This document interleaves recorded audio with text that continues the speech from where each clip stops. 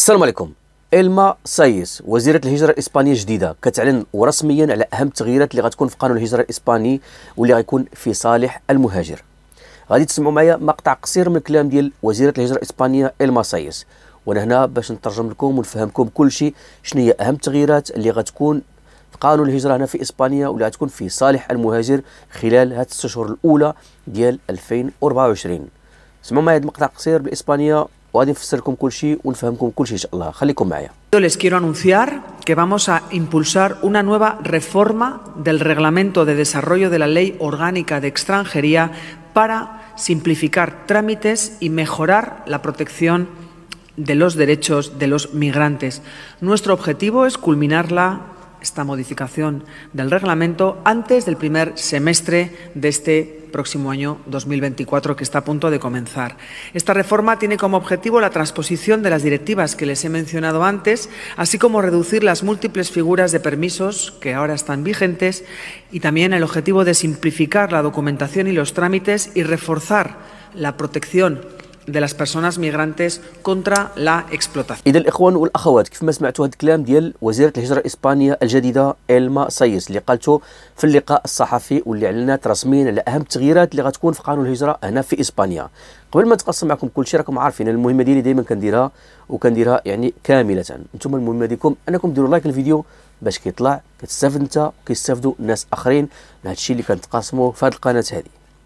اذا شنو هما التغييرات اللي غتكون في قانون الهجره في إسبانيا واللي غتكون تلعب لمصلحة المهاجر هنا في إسبانيا؟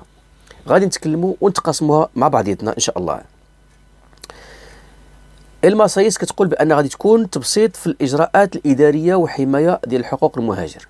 يعني كيكون واحد التبسيط في الإجراءات الإدارية وهذه واحد المسألة مهمة بزاف بالنسبة لقوة الاوراق والقوة ديال جيب هذه وهذه. إذا هنا غيكون تبسيط في الإجراءات الإدارية غتكون مبسطة أكثر من هذا الشيء اللي كنعيشوه دابا بالنسبة للناس اللي كيبغيو يعدلوا الأوراق ولا يبدلوا الأوراق ولا مجموعة من الإجراءات الإدارية اللي كتبغي تعملها كتلقى بزاف ديال الأوراق خاصك باش ديرها. إذا هنا هضرت على تبسيط الإجراءات الإدارية بالنسبة للمهاجرين هنا في إسبانيا.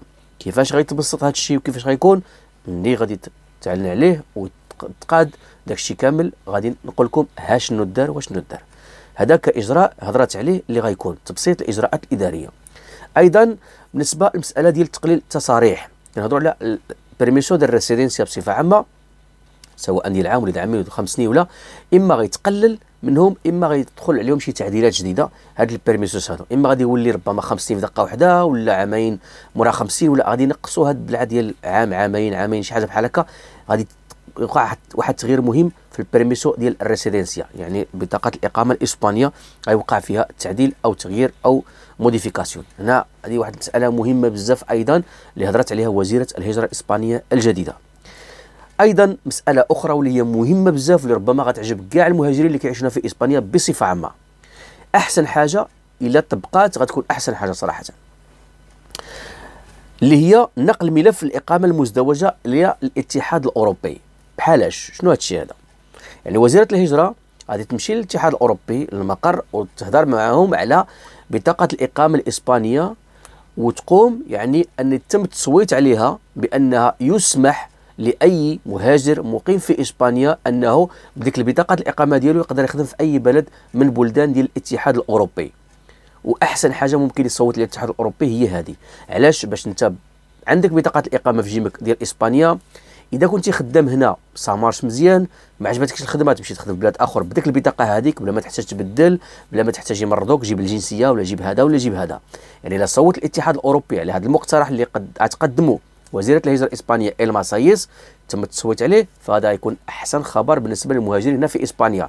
طبعا الحال كان عندك ال permis الإقامة ديال عام أو خمس سنين أو عامين أو غادي تقدر تخدم به في إسبانيا وفي أي دولة أخرى. وعاد تخدم به في دولة أخرى وما عجبكش الحال عاود ترجع لإسبانيا وما كاينش مشكل ça marche وهذا أحسن نقطة طرقات لها الوزيرة. إن شاء الله هي غادي دير هذا الشيء هذا اللي كنتقاسم معكم في هذه الشهور الأولى. يعني ابتداء من ف... من يناير هذا اللي دخل غادي تبدأ الخدمة في هذا القانون هذا. يبداو التعديلات يدخلوا وحدة مور وحدة. مسألة أخرى اللي هي طبعا مهم مهمة بزاف هي هضرت على مسألة الاستغلال. المهاجرين اللي كيتعرضوا للاستغلال من طرف رب العمل. طبعا هادشي كنشوفوه وكنعيشوه بزاف وخاصة في الميادين ديال الفلاحة مثلا أو لا في المطاعم أو لا في الأعمال الشاقة. بصفة عامة المهاجرين كيتعرضوا للاستغلال من طرف رب العمل. هنا حقوق ديال المهاجر في مسألة الاستغلال غيتم تعديلات فيها. غيولي عنده حق أكثر إذا تعرض المساله من مسألة الاستغلال؟ فيكون يعني الضربة قاضية رب العمل اللي كيستغل ذاك المهاجر يعني استغلال آه، بحكم أنه مثلا مهاجر ماشي إسباني.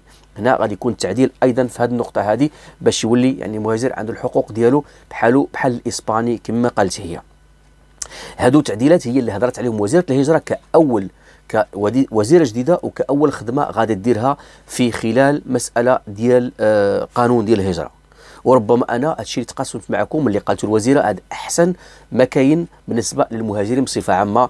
لا من تبسيط الإدارة من تبسيط المسطره الإدارية ولا من التعديل ديال بطاقه الإقامة الإسبانية ولا من حماية من الاستغلال ولا حتى الملف ديال الإقامة المزدوجة. يعني إقامة إسبانية صالحة للعمل بها في أي بلد من بلدان الاتحاد الأوروبي. إذا كان إن شاء الله هذا الشيء هذا يعني طبق غادي يكون أحسن ما سمعنا. مسألة واحدة اللي مازال ما هضرتش عليها هي مسألة التسوية الجماعية. واش غتكون شي تسوية جماعية ولا لا؟ المسألة بقى في البرلمان ماشي في يد الوزيرة بوحديتها. هذه المسألة هذه ماشي الوزيره بوحدها اللي غادا تقرر فيها وإنما البرلمان الإسباني لأن المقترح كاين وتحط على البرلمان هنا غنتسناو التصويت إن شاء الله ونعرفوا واش غيكون شي تسوية جماعية ولا لا. إخواني هذا هو الفيديو ديال اليوم. تقاسمت معكم أهم ما جاءت به وزاره الهجرة الإسبانية. خلي معكم واحد لايك بارطاجي كي تعمل الفائدة حتى الفيديو القادم. والسلام عليكم ورحمة الله وبركاته.